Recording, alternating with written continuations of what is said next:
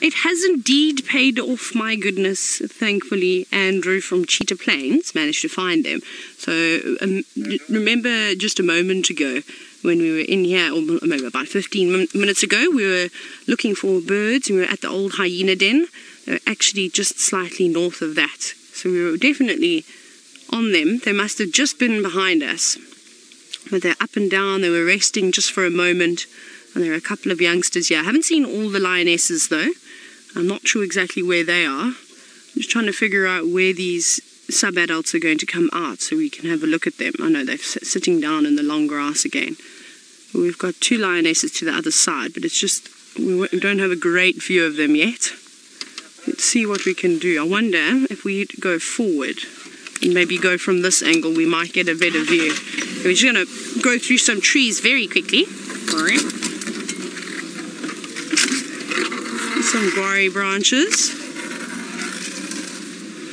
And then I'm going to turn and we'll have a look at these lionesses on this side, just making sure I don't drive over any other lions. Here we go. That's quite nice. Isn't that beautiful? So I think that's exactly what was going on last night. Remember, I was saying earlier that I think that the pride might be split up slightly, and that's why they were calling so much. They were looking for each other, because it's just these two adults for the moment, and then all the cubs. So I don't know where the other three lionesses are. There might be somewhere around here. And we're not far from just on the other side of this drainage line. And I wonder if that's not what these lionesses have seen. But I did also hear some cracking of branches just off to the west of me. I don't know what that is. There definitely is something in the bushes that has caught their attention. So I'm just going to keep scanning just off to the left across the drainage line to see if there's anything moving around. It would be nice if they did find those warthogs because that one sow is awfully relaxed with the cars and I can only imagine that perhaps she's getting slightly older now and her senses aren't as acute as what they were and that would be a tasty meal for the warthogs. It would really just be a snack though with all of them. Hello, beautiful girl. Isn't that lovely? Now, Ashes one, you said that these are pretty girls. They are indeed. I do think the Nkuhuma lionesses are quite attractive. They are very pretty, and isn't this just beautiful framing? So remember, take lots of screenshots and hashtag Safari Live. Share them with us. We love to see them, especially at this time of the year. This is my favorite time of the year to photograph lions in the golden grass with all the different colors of leaves in the background. It definitely is a photo photographer's dream. And the sun is just poking through the clouds every now and then. You can see how the light changes. But they're hungry. It doesn't look like they've managed to get anything to eat since we saw them last night, which is a bit sad. I always feel um, feel sorry for the lions at times. You can imagine they put in so much effort. They walked huge distances there's so much pressure on for them to perform and to catch something. A water, uh, that warthog, you've said that George is only a snack. How's that? Swapping everything around. Obviously, I meant to say George. You've said that a warthog would be a snack. It would indeed, like I said. It wouldn't be very much. They'd all just get a mouthful, especially if the other three lionesses are around here somewhere but I don't know what she's looking at. I'm trying to stare into the distance. I can't see anything just yet, but my eyesight is nowhere near as acute as a lion's eyesight. Maybe some antelope lurking in the bushes too? It could really be anything. There was also a giraffe moving around here when I came, just came back around and into the sighting. So I don't know if it, that is what we can hear every now and then, the cracking of the branches as it pushes through the trees. And we have seen the Nkuhumas chase after giraffe before, but not make a successful kill though. Remember the youngest Nkuhuma, uh, we had a great sighting of them one day around Chelepan, mm, where we had all sorts of things. It was when I just started working here, and that young lioness went chasing after a big bull giraffe, but she wasn't successful, of course. I think she was a game of cat and mouse, really. Just looking just to triple check to see if those other girls aren't around here. I wonder where they are.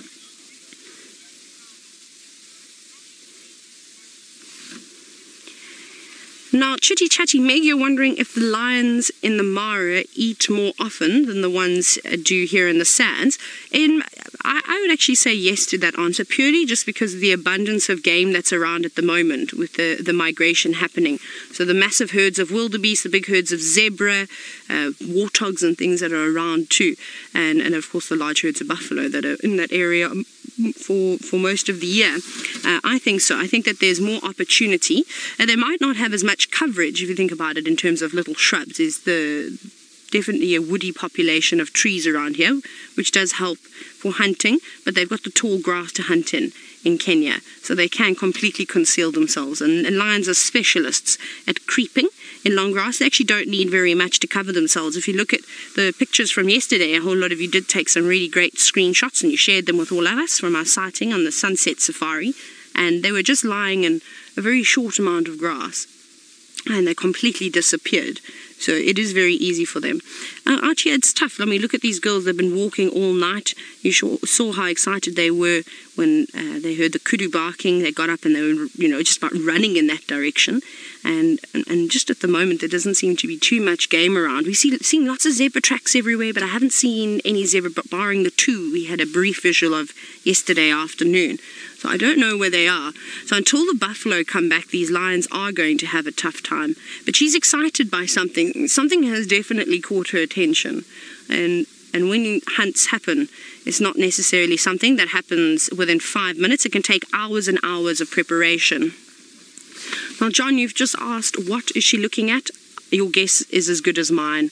I have absolutely no idea. Like I said, we're not too far away from where we saw the warthogs. If you were watching earlier, they were just on the other side of the drainage. So she could have spotted them quite far off. Maybe there's a duiker or a steenbok or a group of impala also moving around.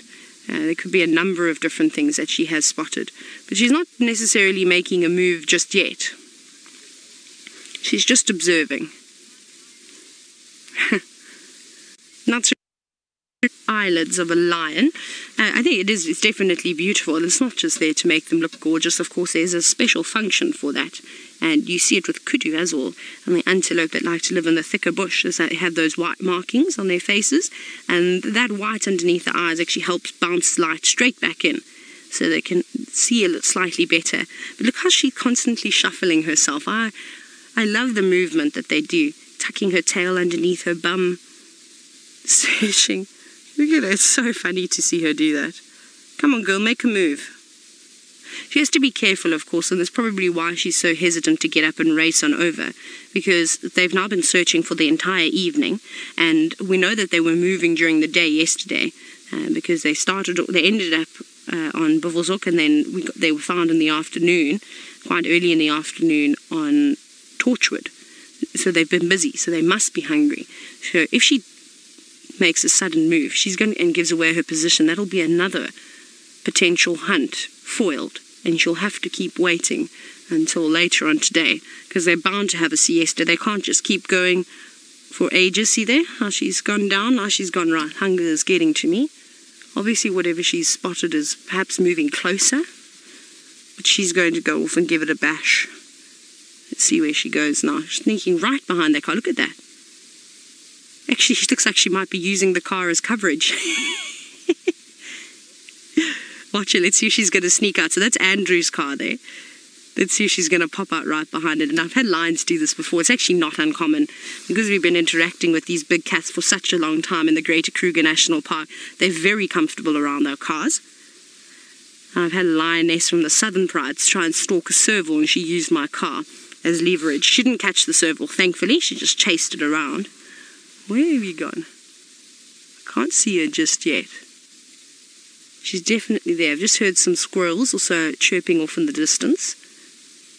I wonder if there's a squirrel that's sitting at the top of a tree and has maybe spotted these lions moving around. It's just like the monkeys. They've also got relatively good eyesight. Hmm.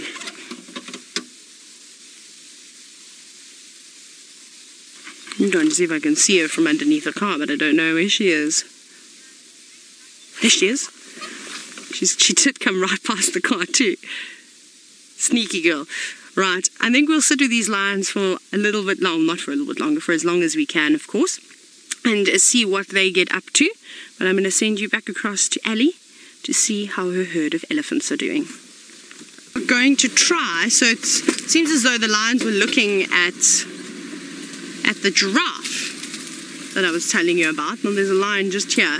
Just trying to get into a spot where we can see everything that's going on. You stay over there, girl. Let's pop our heads here. They are hungry. They are very lean. They're desperately looking for something to eat, but I think that they've realized that they are not going to win with that giraffe and they shouldn't spend all of their time and all of their energy in trying to catch something that they're not necessarily experts at catching. Now, giraffe are not an easy animal to take down, and especially if you've never taken down a giraffe before, you really have to learn how to do this type of thing. There's definitely a technique about it, and there's lions in Namibia which they follow, and they have studied them and they have worked out how to catch giraffe successfully almost every single time that they make an attempt. It's the same thing as you see lions that specialize in hunting elephants in, for example, in Zimbabwe. They're right here at the car. Hello, girl. But you can see their ribs just starting to show now. They're looking very lean. They're not going to starve though. These cats, the way that their digestive system is, of course, designed, is that they can go long periods without a meal. Now, even if they were to catch something small like a warthog, it wouldn't be a meal wasted. Yes, it's not going to fill their bellies and uh, they probably won't go into a food coma, but it will just sort of fill up those fat reserves or the energy reserves, sorry, just to keep them going. Otherwise, as the days pass them, they're going to start using vital fat resources, which they don't want to do. They don't want to have to tap into those. They rather just keep topping them up and have a full belly every uh, so a few days or so, and then they'll be a, okay. But it seems as though the whole pride is here. I've seen now all five lionesses are about, and the little ones in and amongst these thickets. I wonder what they're going to do now if they aren't going to just rest here. You can see big yawns. But I think they're slightly disappointed that they did not get a meal. Which is very, very sad. There's the other girl just coming past now. Now, Ashes, one, you're wondering what is the largest pride of lions that I've seen? Mm, the southern pride is pretty big. I'm trying to think. Oh no, I, I've, I've, i speak nonsense now. The southern pride is quite large now. I think when I saw them, there were five lionesses. There were a couple of cubs. I forget how big they were. But I have seen the shish pride um, in Kruger, uh, around Satara area. Uh, so I, I, have seen them. I don't know how many members are in that pride, but I did see lots and lots of lions just laying about. But there were definitely way more than about 10 or 15 of them. There was a whole bunch of lions. And then I've throughout the years I've seen quite large prides in Kruger as I was younger, but I don't really remember too well. I just remember the sightings, and I wasn't a guide back then, and, and so I wasn't paying attention like I pay attention now. There's a pride though. I think they're known as the mountain pride that hangs around uh, Singita uh, Lebombo. And that's a huge pride. That's a super pride lion. I think at one point they had over 35 lions. There's also a white lion that hangs around, and there I'd like to see them. That would be an amazing um, pride to see. Uh, but I'm thinking in the sands, it's probably the southern pride, probably the biggest pride that I have seen with the Charleston boys. Uh, let's try and figure out how we're going to get another spot in here. Mm, also, I don't know where all the guides have gone. Everyone's just disappeared now. Uh, this is going to be tricky. there's one lioness still coming through there. I'm just trying to find a gap because it's quite difficult to view them. They've tucked themselves in this sort of guarri thicket. Let's poke our nose here. Find a gap. Oh, hang on, my favorite little girl. I've just seen her. Hi, little precious. There she is. How's that view? Can you see that little line just there? Oh, there we go. We've got the gap between the trees. She is honestly, she's the cutest little girl I've ever seen. This is the one that's got the amber colored eyes, and she used to have a floppy ear. She was attacked by mange severely. Uh, when unfortunately there was a bout of mange that was going around in the Nkuhuma Pride, but they all seem to be very healthy now and they've kicked that, which is great. But um, she didn't look great at all for the first couple of months of her life. But now she's starting to look slightly better, and it was this left ear that was actually floppy. Hello, girl. You are so precious, aren't you? She has got beautiful eyes. Here comes, you can just see the shadow of another lion looking up, going, hello, no, not interested, okay. and that's another thing that I love to see, is that the cubs never get as much attention as they did when they were younger. It's like the novelty sort of wears off with the adults and they say, all right, thank goodness, no more harassing, no more trying to suckle, none of that nonsense and goes on anymore. And I wonder if she's going to get up and go and join the rest. Give us a yawn? Oh, just a little one. She's just sitting out on her own. The others are just ahead of her. Hello, little one. I think if I go further forward, I can get you actually maybe quite a nice gap of the rest of the pride. Let's try that. We'll just do lots of repositioning because it's a really tough gap now. but we have to make do. I think they're actually going to rest up here for most of the day now. There's some nice shade. It is cool because it's close to the drainage system. And I think that this is the end of the Nkuhuma's hunt, unless something walks towards them.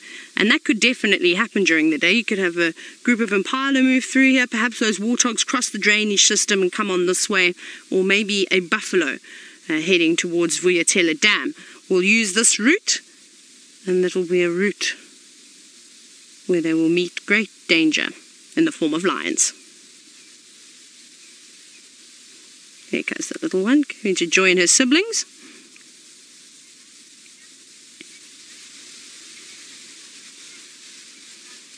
There we go. All cuddling up now, giving each other grooming sessions. I see that's very important. Now, Ashes one, you're wondering if lions have a sort of home to go back to, or if they just sleep anywhere. They really do just sort of sleep anywhere, unless it's a lioness and she has a den site. If she has got cubs, then she'll return to the same spot, but that den site also changes every so often. But now that these cubs are sub-adults, uh, they move around, they, they, travel great distances. You see, the lionesses don't mark a territory, it's the males that mark and defend territories. The girls sort of just have a home range, so they move around within an area. They also don't want to go in, you know, travel too far out of the area that they've chosen to live in because they will have altercations with other prides of lions. They don't tolerate each other at all, even the girls. So they do hang around you. So they go into the Manyeleti. They spend quite a bit of the summer months in the Manyeleti. Uh, they, they spend time in Buffelshoek, Torchwood, Djuma, Simbambili, Arathusa, around sort of here. Yes.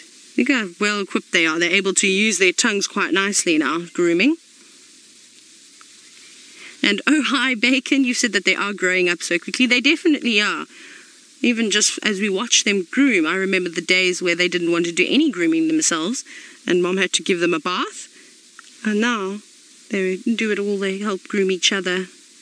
They're not little cubs anymore, they're turned into these lovely little lions. They are looking a little bit scruffy though. It doesn't look like they've had a good brush for quite some time. But I suppose that's what happens when you've spent most of yesterday afternoon and pretty much the entire morning searching for something to eat. Your coat probably does get a bit scruffy, but they'll sort that out. There we go. Clean those ears. Clean your siblings' ears. Get those places that are hard to reach. Now, the only thing is that it's going to become quite tricky here, and there are some other guides that like to view lions, so I don't think we're going to be able to stay as long as we like. Because for everybody to get a decent view is going to become virtually impossible now and we have got one of the good spots. So we'll sit here for a couple more minutes and then we will move out and give the other guides a chance. But what we're going to do now is we're just going to have a chat to Taxon and see if he can't get a view of these lions and if we can stay a bit longer. I'm going to send you across to Ali now. She's had great luck with the elephants today. I wonder what else is going to come her way.